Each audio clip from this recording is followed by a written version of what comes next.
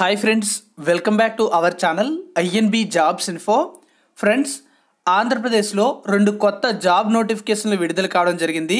ఈ రెండు నోటిఫికేషన్ల ద్వారా పలు రకాల ఉద్యోగాలను భర్తీ చేస్తున్నారు.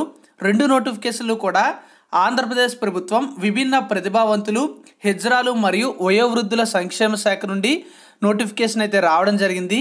ఈ వీడియోలో ఈ నోటిఫికేషన్కి సంబంధించినటువంటి పోస్టుల వివరాలు మరియు క్వాలిఫికేషన్ యొక్క వివరాలు అయితే చెప్తాను. వీడియోని పూర్తిగా స్కిప్ చేయకుండా చివరి వరకు కూడా చూసి మీకు అర్హత ఉన్నట్లయితే వెంటనే అప్లై చేసుకోండి. అప్లై చేసుకోవడానికి మీరు ఎక్కడికో వెళ్ళక్కర్లేదు. మీ మొబైల్ ద్వారానే మెయిల్ చేస్తే సరిపోతుంది. మీ యొక్క రెజ్యూమ్ అనేది. మరి ఏ విధంగా అప్లై చేయాలి? దేనికి పంపించాలి? అనేది అయితే చెప్తాను. ఎటువంటి ఫీజు కూడా ఉండదు. పరీక్ష కూడా ఉండే అవకాశం అయితే ఉండదు. ఎందుకంటే మనకి ఈ విధంగా భర్తీ చేస్తున్నటువంటి ఉద్యోగాలకి ఏదైనా మెరిట్ బేసిస్న భర్తీ చేసే అవకాశాలు అయితే ఉంటాయి. సో ఈ వీడియోలో పూర్తి వివరాలు అయితే చూద్దాం. ఎవరైతే ఎలిజిబిలిటీ ఉంటుందో వాళ్ళకి ఈ వీడియోని అయితే షేర్ చేయండి. ఏదైనా వాట్సాప్ గ్రూప్లో షేర్ చేసినట్లయితే మరికొంతమంది అభ్యర్థులకి ఎలిజిబిలిటీ ఉన్న వాళ్ళు అప్లై చేసుకోవడానికి ఛాన్స్ అయితే ఉంటుంది. వీడియోని లైక్ చేసి సపోర్ట్ చేసినట్లయితే మీకు ఇలాంటి లేటెస్ట్ జెన్యున్ అప్డేట్స్ అయితే తీసుకొస్తూ ఉంటాను. ఫ్రెండ్స్ రెండు నోటిఫికేషన్లు కూడా ఒకే డిపార్ట్మెంట్స్ నుంచి రావడం అయితే జరిగింది. మొదటి నోటిఫికేషన్ చూసుకుంటే మనకి ఇక్కడ ఉద్యోగ ప్రకటన అనేది ఈ విధంగా ఇచ్చారు. కాంట్రాక్ట్ ప్రాతిపదికన national action plan for drug demand reduction క్రింద సైకాలజిస్ట్ లేదా సోషల్ వర్కర్ ఒక పోస్టుకు మరియు డేటా ఎంట్రీ ఆపరేటర్ రెండు పోస్టులకు దరఖాస్తులు అయితే ఆహ్వానిస్తున్నట్లుగా చెప్పడం అయితే జరిగింది.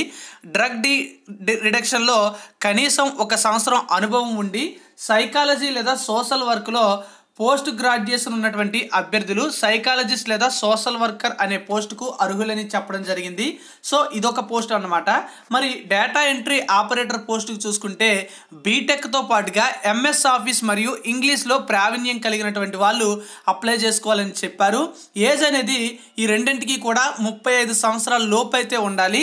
అర్హత కలిగిన వారు తమ యొక్క బయోడేటాను ప్రకటన జారీ చేసిన తేదీ నుండి ఒక వారంలోపు కార్యాలయానికి సంబంధించినటువంటి మెయిల్కి అయితే పంపించాలని చెప్పారు. మెయిల్ చూసుకున్నట్లయితే DW DAS CAP at the rate Gmail dot com అనే మెయిల్కి మీరు మీ యొక్క బయోడేటా అనేది పంపించినట్లయితే సరిపోతుంది. ఈ విధంగా మనకి ఒక నోటిఫికేషన్ అయితే వచ్చింది. వన్ వీక్ వరకు కూడా టైం అయితే ఉంటుంది. ఈ రోజే నోటిఫికేషన్ అయితే రిలీజ్ చేశారు.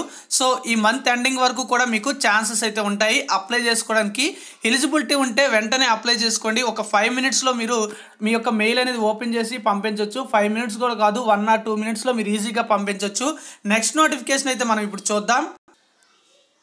ఇక రెండో నోటిఫికేషన్ కూడా మనకి సేమ్ డిపార్ట్మెంట్ నుంచి రిలీజ్ అవ్వడం జరిగింది. మరి ఈ నోటిఫికేషన్ ద్వారా భారత ప్రభుత్వంలోని వికలాంగుల సాధికారిత విభాగం కింద యూడిఐడి ప్రాజెక్టు కోసం స్టేట్ కోఆర్డినేటర్ కాంట్రాక్ట్ ప్రాతిపదికన ఒక పోస్టుకు ఐటీ నిపుణుల నుండి దరఖాస్తులు అయితే ఆహ్వానిస్తున్నట్లుగా చెప్పడం జరిగింది.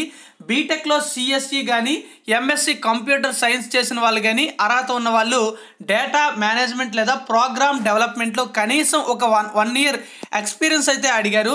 ఇంగ్లీష్ లాంగ్వేజ్ అనేది ప్రావీణ్యం అయితే ఉండాలి. థర్టీ ఫైవ్ ఇయర్స్ లోపు ఉన్న వయసు వారు అప్లై చేసుకోవచ్చు. తమ బయోడేటాను ప్రకటన జారీ చేసిన తేదీ నుండి వన్ వీక్ లోపు పంపించాలని చెప్పారు. ఇక్కడ మనకి మెయిల్ కూడా ఇవ్వడం జరిగింది. DWDAS CAP at the rate Gmail dot కామ్కి పంపించాలి. మరి ఈ రెండు నోటిఫికేషన్లు కూడా మనకి ఈ యొక్క డిపార్ట్మెంట్కి సంబంధించినటువంటి కృతికా శుక్లా గారు ఐఏఎస్ నుంచి ఈ నోటిఫికేషన్ అయితే రిలీజ్ చేయడం జరిగింది. సో ఎలిజిబిలిటీ ఉన్న వాళ్ళు తొందరగా అప్లై అయితే చేసుకోండి. ఇంకా ఏమైనా జాబ్ నోటిఫికేషన్స్ వస్తే నా నెక్స్ట్ వీడియోలో తెలియజేస్తాను. Thank Thank you for watching. Have a nice day. Jai Hind.